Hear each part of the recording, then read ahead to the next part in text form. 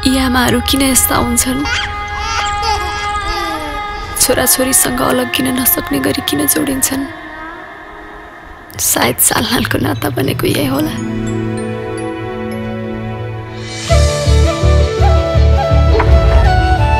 यो प्रेम भन्ने कुरा कहाँ उम्रिन्छ र कसरी झाङ्गिँदै जान्छ स्वयं प्रेम गर्नेलाई पनि थाहा हुँदैन।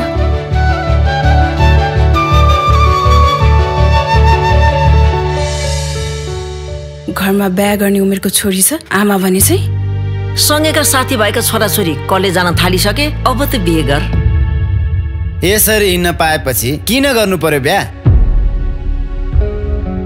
प्राप्ति र म चाहिँ रिलेसनसिपमा छु। मलाई पनि घरबाट प्रेसर आउन थालिसक्यो। अब त घरजम पनि गर्ने हो कि भन्ने कुरामा?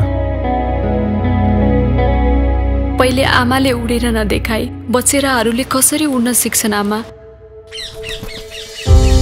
आफूप्रति अन्याय गर्नेले अरूलाई चाहिँ अन्यायको विरुद्ध लडाइँ गर भन्नु ढोङ्गीपना होइन र?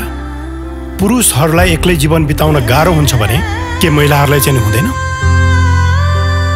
खोट लागेको बलिलाई देवी देवताले त ग्रहण गर्दैनन् भने तिमी त हाम्रो आफन्तले मलाई यही रूपमा हेर्न चाहन्छन्।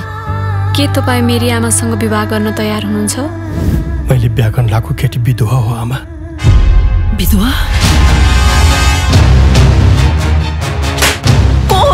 बिहेको निर्णय गर्ने। के बोलिरहेको छु भनेर होस् त तँलाई। होस् त यो ढोगी र पाखण्डी समाजलाई छैन। मैले तिम्रो लागि किन सपना नदेखु? भविष्यको सपना त त्यसको लागि देखिन्छ जसको भविष्य हुन्छ। यस्तै चोथाले हुन्छन् बाउको माया बिना हुर्केकी छोरी।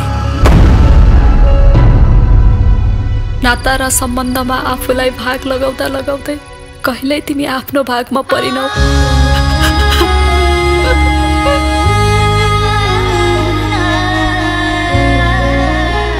हाम्रो कमजोरी भनेकै यिनै आँसु हुन् यिनलाई लुकाउन सिक।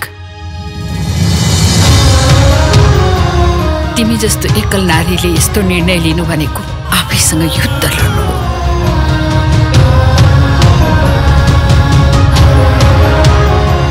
दुर्गन्धित पोखरीमा डुबेर कमलको फुल बन्ने कोसिस नगर।